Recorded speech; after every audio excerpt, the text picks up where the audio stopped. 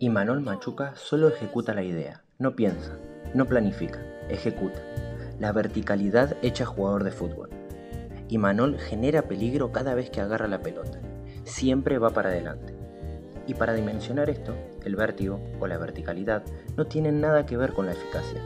Estás acá, escuchando esto, porque el jugador de Unión logró ser eficaz no por su vértigo, intensidad, ta dinámica, por su talento.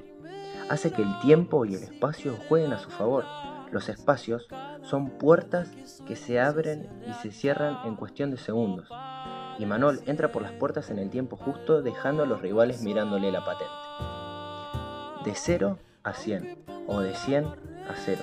La jugada lo lleva a improvisar siempre y ejecutar una solución para gambetear al rival.